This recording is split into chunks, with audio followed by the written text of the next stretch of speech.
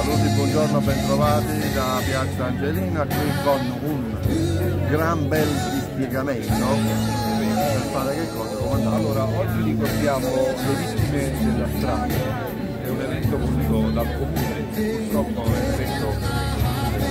è abbastanza tragico. Noi portiamo anche delle statistiche sugli incidenti stradali, dove purtroppo i numeri sono sempre in aumento, infatti in Europa risultiamo tra i primi per vittime dove purtroppo la percentuale più alta è dei giovani che perdono la vita cerchiamo di sensibilizzare tutti i giovani ad un corretto uso eh, del cellulare alla guida, di non fare uso di sostanze stupefacenti e alcoliche perché si può dire alterano l'alterazione psicofisica e quindi aumenta il pericolo di incidente alla guida per provocare Comandante, le statistiche avete ben preannunciato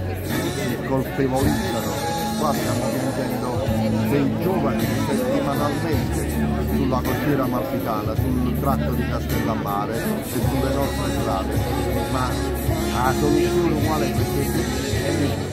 Allora, la soluzione non è tanto nel- nell'incrementare le forze dell'ordine e il controllo del territorio, ma è sensibilizzare proprio chi si mette alla guida, perché purtroppo nella maggior parte degli incidenti che rileviamo constatiamo che le statistiche sono dovute a un al non corretto uso del cellulare, quindi a una distrazione. In molti casi troviamo purtroppo conducenti positivi all'alcol e alle sostanze stupefacenti, quindi in queste condizioni purtroppo la guida non sarà mai sicura.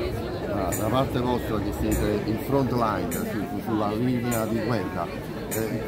eh, vi, ho sentito chiedere pene più severe perché Sì, al vaglio in questi giorni il nuovo codice della strada nel momento viene sia pecuniarie che detentive per chi commette soprattutto incidenti stradali, eh, guida con eh, il cellulare alla mano e chi fa uso di sostanze stupefacenti vi ringrazio di questo tempo, vi facciamo i nostri auguri e che sia fruttuosa questa giornata per, per ottenere per cercare di fronteggiare questo grande problema. Grazie, grazie.